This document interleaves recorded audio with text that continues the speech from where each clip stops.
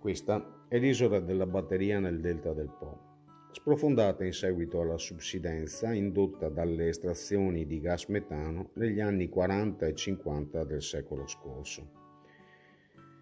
Abbassamento del terreno che si è verificato nell'intero delta del Po mediamente di 2,5 metri con punte di 4. Ora il governo intenderebbe riprendere ad estrarre davanti al delta del Po, con seri pericoli per il territorio, per chi lo abita e per le attività economiche che vi si svolgono. Noi pensiamo non sia una buona idea, anzi che sia da contrastare.